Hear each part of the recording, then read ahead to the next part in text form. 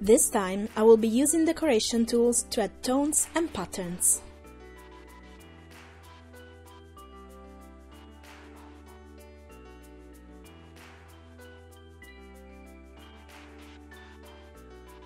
Since this decoration brush uses anti-aliasing, I need to change the expression color of the layer to color before drawing. I select the decoration tool from the tool palette and select soft circles in the effect group.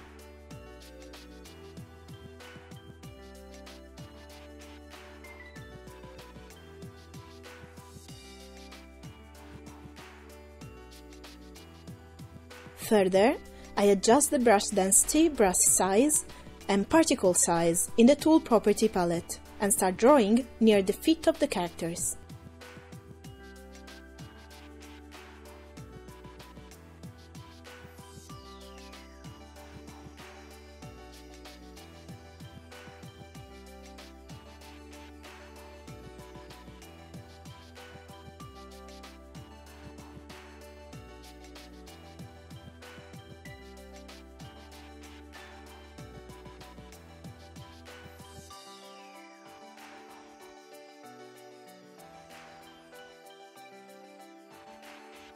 As this material is not monochrome, I have to use the tone function in the layer property palette to change it into a monochrome tone. Next, I will draw the clothes patterns using another decoration brush.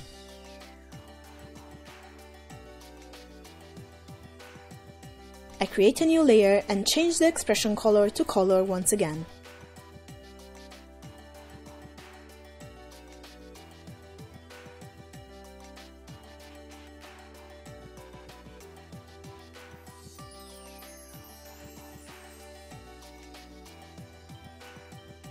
Then I choose the Auto Select tool and refer other layers to select.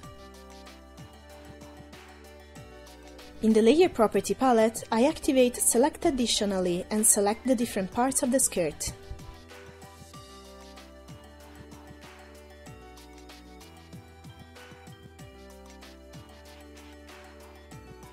From the decoration tools in the tool palette, I use the water lily in the flower group.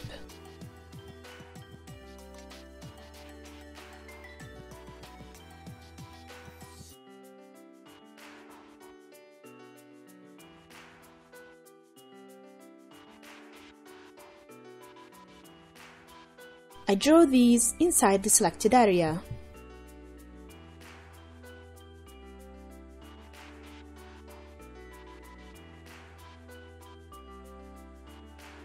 After that, I change the expression color of the layer back to monochrome.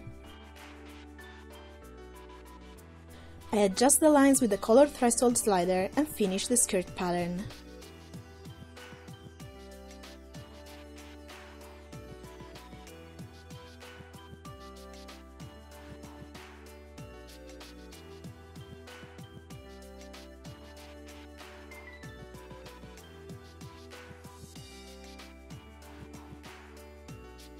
Next, I want to use a decoration brush that really pops.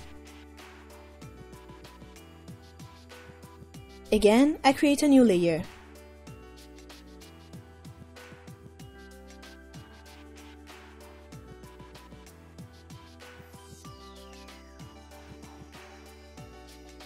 Then I select the ruler tool and the special ruler from the tool palette. From the available rulers, I pick the focus line ruler and place it appropriately.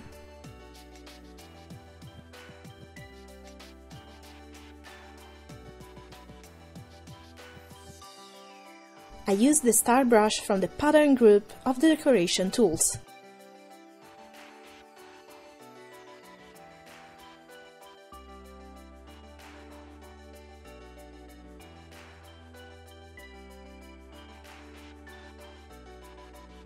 These stars are created by moving the pen along the ruler while adjusting the brush size at the same time.